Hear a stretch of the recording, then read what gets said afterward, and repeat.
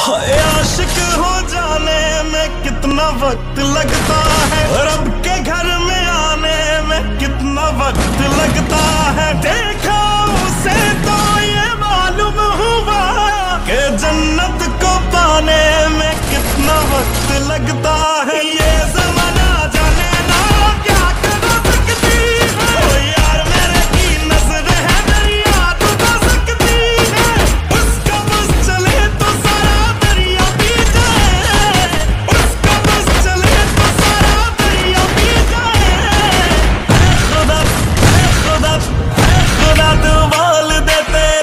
याद लो तो मेरा